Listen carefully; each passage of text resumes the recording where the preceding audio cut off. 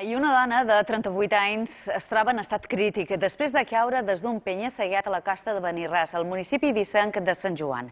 L'accident va passar ahir, al cap vespre.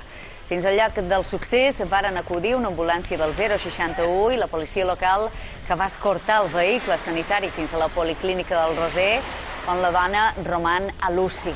Va precipitar-se des d'una altura de 6 metres. Segons el darrer informe mèdic, la ferida té traumatismes greus al cap, tòrax, al pelvis i es troba en coma induït.